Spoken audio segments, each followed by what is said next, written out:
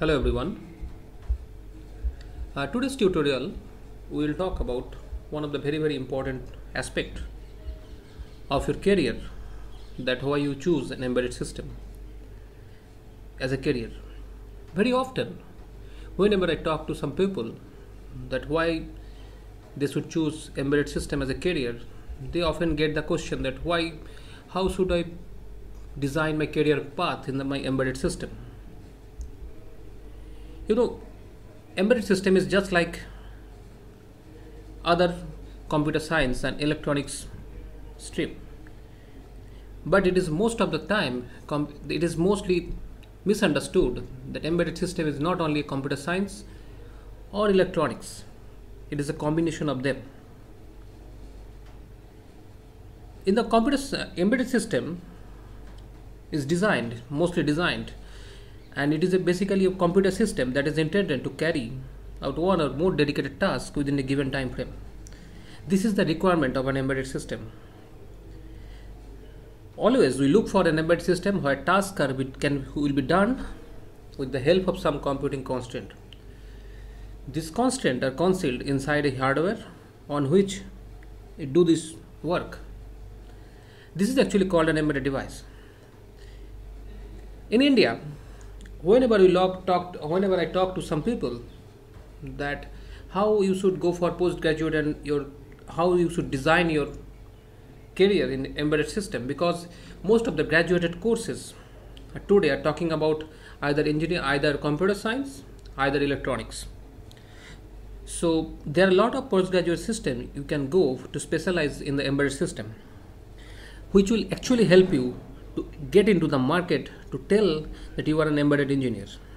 Instead of telling that you are a computer science engineer or electronics engineer. Because it is a new stream it is a new dimension. In few coming years the embedded system will come to the bachelor degree also. It is expected. There are few leading colleges in india which offers interested student with postgraduate program in embedded system those candidates who have cleared their bachelor's degree in the related subjects are eligible to apply for the master's code in embedded system.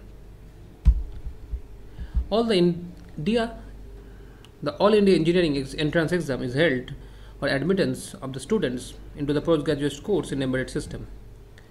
Are couple of designated courses is available for available for embedded system. One is the master of engineering vlsi design and embedded system master of engineering in power system engineering master of technology in vlsi design and embedded system master of technology in electronic system and communication master of engineering microelectronics and control system postgraduate diploma in vlsi and embedded system postgraduate diploma in vlsi design postgraduate diploma in embedded system design the embedded technology sector is presently one of the largest growing areas in the IT sector. As a result, there is huge demand for professionals of this field. The growth of electronics and consumer electronics and the growth of Internet of Things is going to expose huge and demand of the skilled professionals in this field. Candidates who have course their finished their course in this domain in embedded system can find their jobs in telecom companies and mobile companies in addition to industrial engineering and computer and hardware software developing firms. They can also be deployed in with aerospace companies, medical and electrical electronic equipment manufacturing firms. The military also hired students of embedded technology. Now it is a very common question that if I join this and if I do this course, if I join join my job, what will be my expected salary to be? Many leading firms in India and overseas employ freshers in embedded system. The initial salary of a candidate will be around 2.5 lakh to 6 lakh per annum. Professionals more than 5 to 6 years and more than experience can earn in this field 4.5 lakh to 9.5 lakh per year. The income of the candidates will change on the basis of the qualification and the familiarity in the domain. As the proficiency and the skill of the candidate increase, the salary also will be raised. you know most important thing need to understand that embedded system is not just programming or just designing hardware. It is incorporating your software into the hardware and making the end product. So the skill set which is expected from an embedded engineer is more than the electronics or computer science engineer. Whenever you look into this direction. We need to understand there are different skill set which is required for becoming an embedded successful embedded engineer. In the couple of courses we will talk about that what are the skill set and how you can gather those.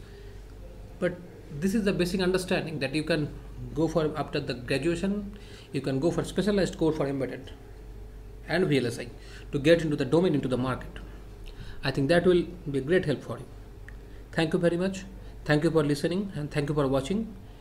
Stay tuned. I will come back again later. Thank you very much